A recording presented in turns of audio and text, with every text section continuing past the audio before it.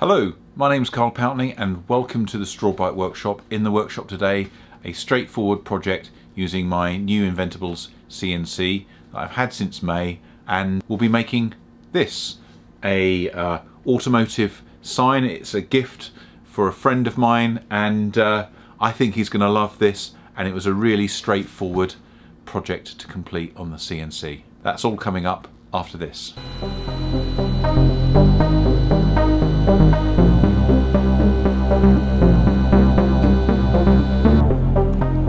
Okay, let's start on the computer. This is a gift for somebody mad about the Austin Mini and I have a photograph of the bonnet badge from the car and that will be our starting point.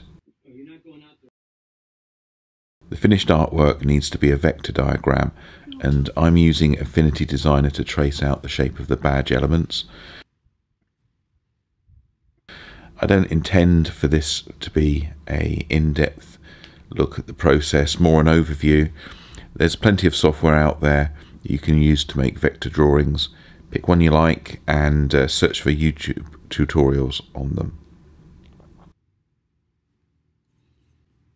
When you're finished, you should have an image made from shapes grouped into layers.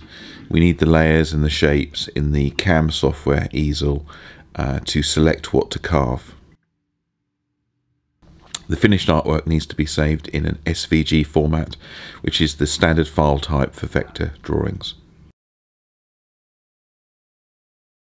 Now you can start with a bitmap if that's all you have. Here's a picture of the Union flag. I tend to use an online tracing service called vectorization.org which uses uh, an edge finding algorithm to trace the image. It's quick and effective. Again, it produces the shapes and layers needed for the next step.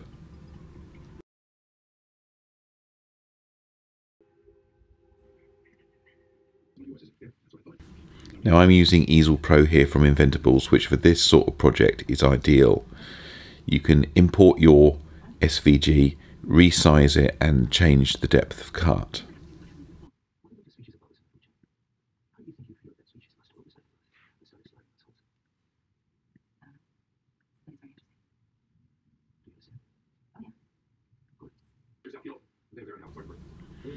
Once you've selected your material, some of the defaults for that material are loaded into the cutting settings. And you can see here I have a depth of cut of 1.5 millimeter on each pass. For signs like this, if I choose 3 millimeters, then each shape, or pocket as it's known in CNC jargon, will be cut in two passes. Now with a single bit selected the results will be good but the level of detail will be determined by the diameter of the cutter. As I'm using Easel Pro I'm going to select a second detailing bit to V-carve the artwork. Once selected Easel recalculates the toolpaths and updates its preview and time estimates so we can get to it.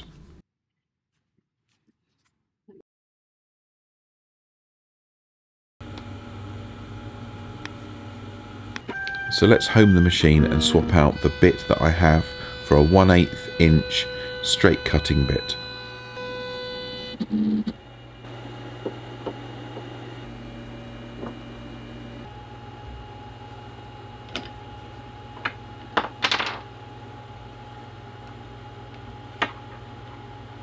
And you can see here that I've upgraded the nut and collet to the precision collet.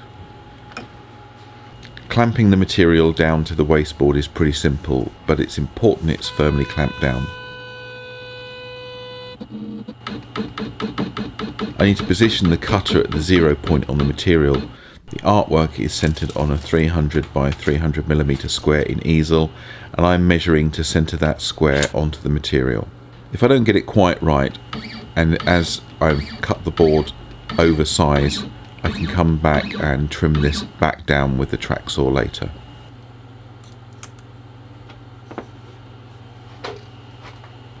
Now with that done I use the probe to set the Z axis height.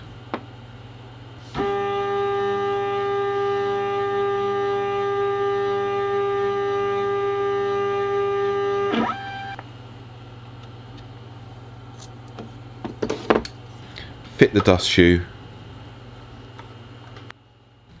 spindle on, dust on,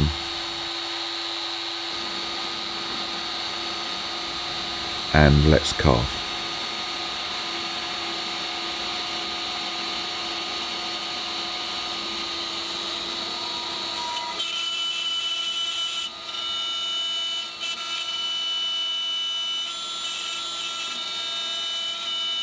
And of course, if you're new here, then please subscribe and click the bell icon to be notified of any new videos. If you like the video, then please give it a thumbs up. And if you have any questions or comments, then leave them below too.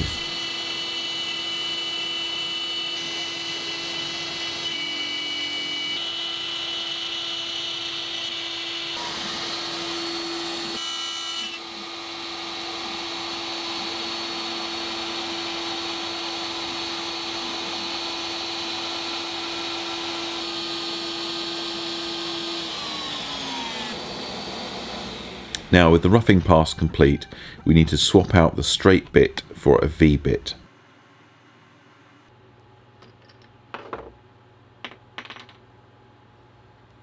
Now for some reason the lock motors button in easel doesn't seem to prevent the gantry from shifting when I'm changing bits and you can see here I move the gantry very slightly. I fixed this issue uh, with some setting changes in the X controller and I'll cover that in a separate video.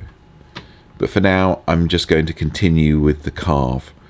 You'll see later the end result is acceptable and I don't think the receiver of the gift will really notice uh, when this picture is hanging on the wall. The 3D relief is pretty cool all the same. My aim of the video was to show you all the steps involved from idea to finished result. In reality, this project took around two hours to complete end to end, and importantly, follows several experimental projects to practice some of these techniques and to test and tune the machine. I'm probably not going to do a full review of this machine, however, if you're in the market for a CNC, then it's a machine I would recommend.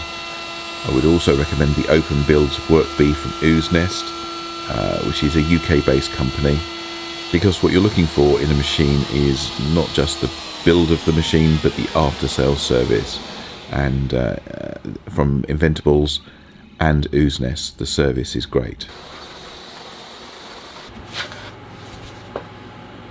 Okay, so that just needs painting.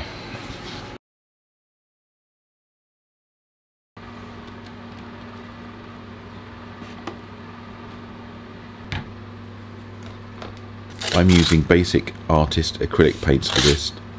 They're water based and available in all the colours that you'll need.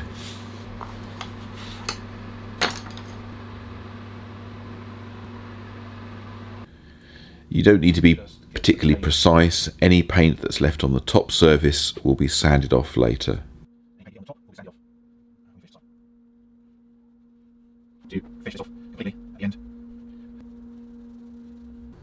Just make sure you get into all of the corners. The paint does raise the grain on the MDF, but it adds texture which I quite like, so I'm not going to be sanding back and doing a second coat.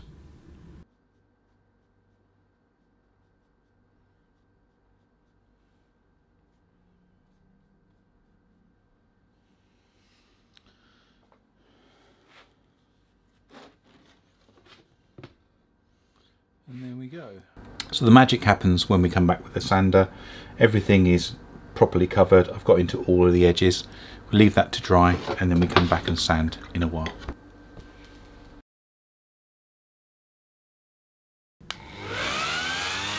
I'm using 240 grit sandpaper in my random orbit sander. You could use a coarser grit, say 180, but I found you get far better result and a cleaner edge between the top surface and the sides of the carve with 240 and it just takes a bit longer.